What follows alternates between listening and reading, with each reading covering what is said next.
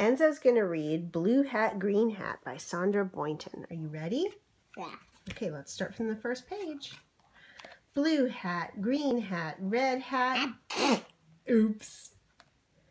Red shirt, blue shirt, yellow shirt. Ah. Yellow pants, red pants, green pants. Ah. Oops, that's right. Blue coat. Oops. Red socks. Um, Green shoes, yellow shoes, blue shoes. Um, Oops. Goodbye.